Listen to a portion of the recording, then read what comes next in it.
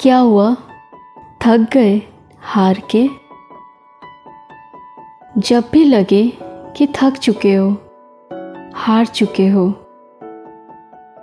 तो बस ये एक बार सोचना कि हार कर ही इंसान सीखता है। और वो जीत भी कैसी? जो एक बार में मिल जाए।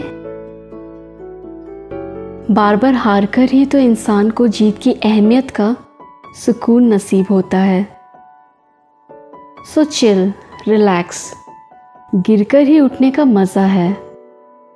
और उठकर ही वो दौड़ में सुकून है। आज हारे हो, कल जीतोगे। कल फिर उठकर खड़े होगे। अभी ये रेस जारी है। अभी तो सूरज की किरणों को भी आना है। अब जीतना है।